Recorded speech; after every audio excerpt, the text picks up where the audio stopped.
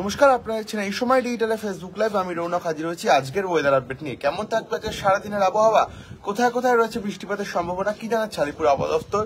মূলত হাওয়া অফিস সূত্রে খবর, উত্তর পশ্চিম বঙ্গোপসাগরে একটি ঘূর্ণাবর্ত তৈরি হয়েছে এবং সেই ঘূর্ণাবর্ত রীতিমতো ফুসছে, যার জেরে কিন্তু ধীরে ধীরে সেই ঘূর্ণাবর্ত গভীর নিম্নচাপে পরিণত সম্ভাবনা রয়েছে এবং সেই নিম্নচাপ ঘূর্ণিঝড়ের আকার নিয়ে বাংলা, উড়িষ্যা এবং ঝাড়খণ্ডে আছড়ে পড়তে পারে। এর জেরে কিন্তু ভারী থেকে অতি ভারী বৃষ্টিপাতের একটা সম্ভাবনা রয়েছে এবং যেটা জানা যাচ্ছে আলিপুর আবহাওয়া তরফ থেকে, আজ বিকেলের পর থেকেই কিন্তু গোটা বাংলা জুড়ে ভারী থেকে অতি বৃষ্টিপাতের সম্ভাবনা থাকছে। শুধু রাজ্য পশ্চিমবঙ্গই নয়, পশ্চিমবঙ্গের পাশাপাশি উড়িষ্যা এবং ঝাড়খণ্ডও কিন্তু এই বৃষ্টিপাতের সম্ভাবনা থাকছে বলে জানাচ্ছে আলিপুর আবহাওয়া দপ্তর অর্থাৎ এই যে ঘূর্ণাবর্ত, সেই ঘূর্ণাবর্ত ধীরে ধীরে নিম্নচাপে পরিণত হবে এবং সেই নিম্নচাপ ধীরে ধীরে হয়তো ঘূর্ণিঝড়ের রূপ নিয়ে আছড়ে পড়তে পারে গোটা পশ্চিমবঙ্গ জুড়ে। এমনটাই জানাচ্ছে হাওয়া অফিস। আমরা যদি একেবারে শহর কলকাতা তাপমাত্রার দিকে তাকাই তারা সকাল থেকেই মাফ করবেন, আংশিক মেঘলা আকাশ এবং বেলা বাড়ার সঙ্গে সঙ্গে যেটা বলা হচ্ছে যে রোদের তীব্রতা কিন্তু সেরকমভাবে বাড়বে না সারাদিন ধরেই দু এক পশলা বজ্রবিদ্যুৎ সহ বৃষ্টিপাতের সম্ভাবনা রয়েছে এবং শহর কলকাতার আজ সর্বনিম্ন তাপমাত্রা থাকতে পারে সাতাশ ডিগ্রি সেলসিয়াস এবং সর্বোচ্চ তাপমাত্রা থাকতে পারে তেত্রিশ ডিগ্রি সেলসিয়াস। আর্দ্রতাজনিত যে অস্বস্তি, সেই আর্দ্রতাজনিত অস্বস্তি বজায় থাকলেও ভারী থেকে অতি ভারী বৃষ্টিপাত রয়েছে গোটা রাজ্য জুড়ে। এখন ঘড়ি কাটা বাজে প্রায় নটা পঁচিশ যে চিত্রটি আপনাকে দেখানোর চেষ্টা করব, যে শহর কলকাতার আকাশ কিন্তু পরিষ্কার হলেও রোদের তীব্রতা সেরম অর্থে নেই এবং আকাশে কিন্তু মেঘ রয়েছে, অর্থাৎ আংশিক যে মেঘলা আকাশ সেরকমই কিন্তু থাকবে কলকাতার আকাশ এবং যেটা বলা হচ্ছে যে গোটা রাজ্য জুড়েই কিন্তু এরকমই তাপমাত্রা বর্তমান থাকবে। আগামী চব্বিশ ঘণ্টার মধ্যে কিন্তু গোটা রাজ্য জুড়ে ভারী থেকে অতি ভারী বৃষ্টিপাতের সম্ভাবনা রয়েছে।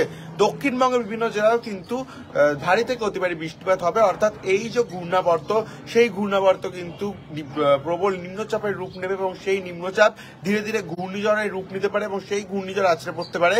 পশ্চিমবঙ্গ, উড়িষ্যা এবং ঝাড়খণ্ডে, যেটা জানা যাচ্ছে আইএমডি সূত্র থেকে যে আপাতত পক্ষে কিন্তু আজ সেরকম বৃষ্টিপাতের সম্ভাবনা না থাকলেও আগামী কুড়ি এবং একুশে জুলাই কিন্তু ভারী থেকে অতি ভারী বৃষ্টিপাতের সম্ভাবনা রয়েছে গোটা রাজ্য জুড়ে। অর্থাৎ যে ঘূর্ণাবর্ত তৈরি হয়েছে, সেই ঘূর্ণাবর্ত ঘূর্ণিঝড়ের রূপ নিয়ে ধীরে ধীরে শক্তিশালী হয়ে কিন্তু মধ্য ভারতের দিকে এগিয়ে যাবে। অর্থাৎ শুধু আমাদের রাজ্যেই নয়, আমাদের রাজ্যের পাশাপাশি ছত্তিশগড়, তেলেঙ্গানা বিদর্ভ, মধ্যপ্রদেশ, বিভিন্ন জায়গায় কিন্তু বৃষ্টিপাতের সম্ভাবনা রয়েছে। অর্থাৎ জুন মাসের যে বর্ষা দেখেছিল গোটা রাজ্য, তার থেকে কিন্তু আরও বেশি বর্ষা দেখতে চলেছে জুলাই মাসে। অর্থাৎ, বেশ ঝেপে বৃষ্টিপাতের যেমন সম্ভাবনা থাকছে, সেরকমই আবহাওয়ার একটা পরিবর্তনের লক্ষণ থাকছে। দুর্যোগপূর্ণ যে আবহাওয়া, তার কিন্তু একটা আগে থেকেই পূর্বাভাস দিচ্ছে আলিপুর আবহাওয়া দপ্তর। অর্থাৎ, যেটা জানা যাচ্ছে যে, এই যে ঘূর্ণাবর্ত, সেই ঘূর্ণাবর্তের ফলে কিন্তু একটি নিম্নচাপ পরিণত হতে পারে এবং সেই নিম্নচাপ ধীরে ধীরে প্রবল ঘূর্ণিঝড়ের রূপ নিতে পারে। আর এই ঘূর্ণিঝড়ে কিন্তু রীতিমতো তাণ্ডব চালাতে পারে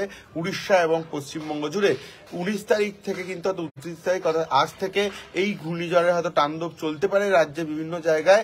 কিন্তু এখনই সেরকম ভারী থেকে অতি ভারী বৃষ্টি পূর্বাভাস দেওয়া যাচ্ছে না। আগামী চব্বিশ ঘণ্টার মধ্যে কিন্তু ভারী থেকে অতি ভারী বৃষ্টিপাত হতে পারে গোটা রাজ্য জুড়ে।